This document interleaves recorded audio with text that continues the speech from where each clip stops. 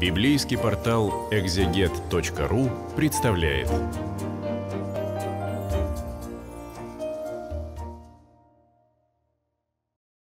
Мы подошли к 141 псалму. Традиционно наши встречи записываются редакцией портала exeget.ru в Московском Сретенском монастыре. 141 псалом – это жалоба, жалоба его автора на гонителей. Э, в ней, э, в этой жалобе, автор псалма просит Господа избавить от их сетей. Начинается псалом сетованием псалмопевца на свое одиночество. Когда он спасался бегством от врагов, никто не предоставил ему убежище. Затем он обращается к Богу за помощью, обещает прославить его в собрании праведных мужей.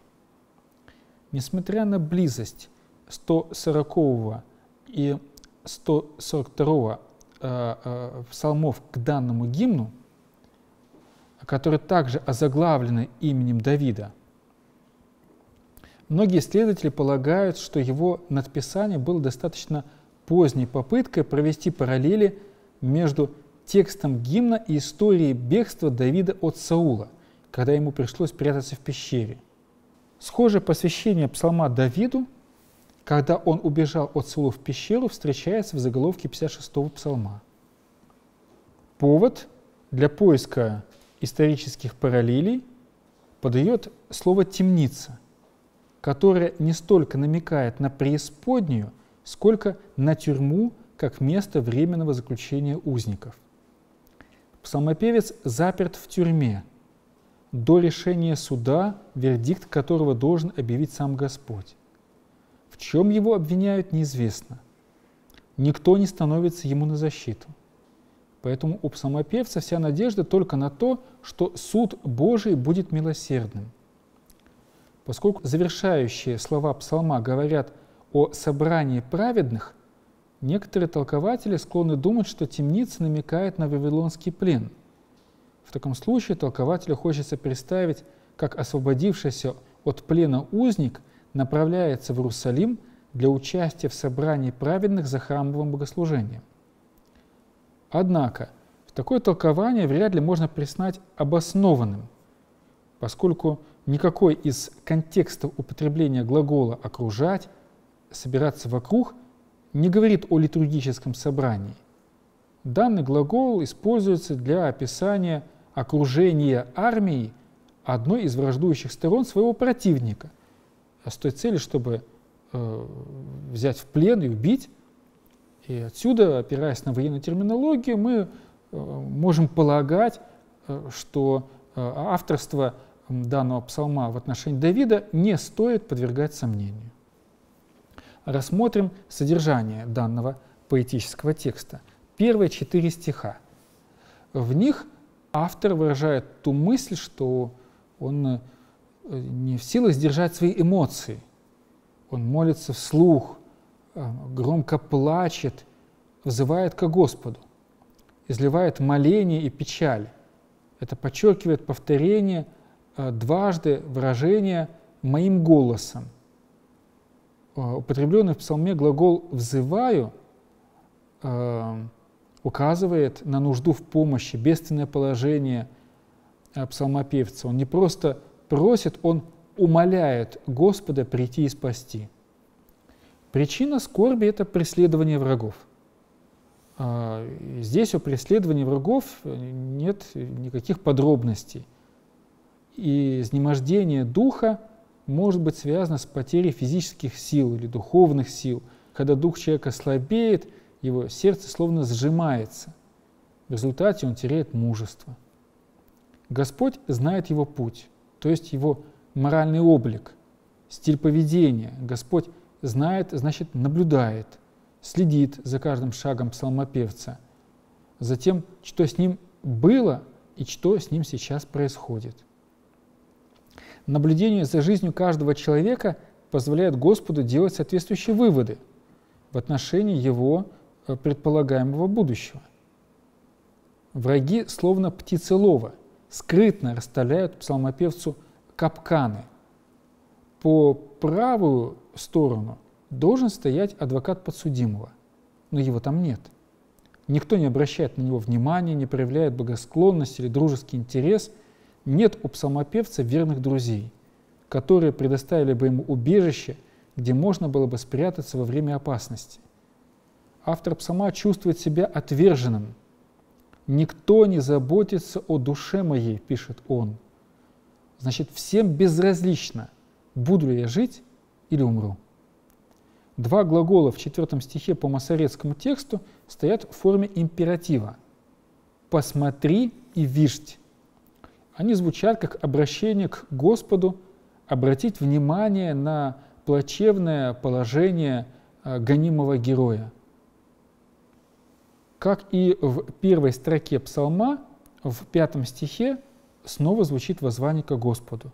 «Бог – мое прибежище, и часть моя на земле живых». Часть – это участок, э, участь, наследство.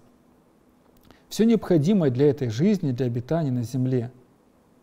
Я изнемог, значит, обеднел, похудел, истощился, пригнулся к земле. Поэтому гонители стали сильнее меня. Слово «темница» свидетельствует о бедственном положении псалмопевца. Был ли он физически в тюрьме, неизвестно – его душа страдала, как у заключенного, но при этом он не потерял надежды. Он уверен, что наступит тот счастливый момент, когда он снова прославит Господа в окружении праведников. Окружение праведников – это, по сути, метафора радости, собрание близких друзей или э, большого стечения народа – Возможно, здесь присутствует намек на публичное богослужение в храме, куда направится псалмопевец для благодарственной молитвы за неспосланную помощь. Корень еврейского э, глагола, э, который здесь употребляется, катар, может означать не только окружать, но и возложить царский венец. В таком случае речь может идти о том, что праведники коронуют псалмопевца, окажут ему царский прием – Стиль последней строки псалма напоминает аналогичные песни о благодетельственных Богом псалмопевцев. Помощь Господа – это дар, это не вознаграждение за заслуги. Псалмопевец вновь обретет свободу, о которой будет радоваться и сам он, и все собрание ну, единодушных ему людей. Подведем итоги – Несмотря на яркие характеристики своего одиночества, в конечном итоге псалмопевец а, оказывается в кругу близких ему по духу людей.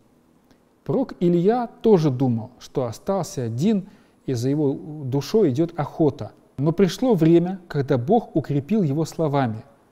«Я оставил между израильтянами семь тысяч мужей. Всех сих коленей не преклонялись пред Ваалом». Как видно из 141-го псалма, его герой не единственный праведник на земле. Он член общины верных, судьба которых переплетена с дорогой его жизни. Его победа – это общая победа. Его поражение – поражение всех остальных. Именно так строятся взаимоотношения между членами церкви по апостолу Павлу. Страдает ли один член, страдая с ним все члены. Славится ли один член – с ним радуются все члены. Многие люди праведной святой жизни претерпевали гонения, а в час скорби и заточения в темницу их порой оставляли родственники и друзья. Даже ученики Христовы, оставив его в Гесиманском саду, одного бежали.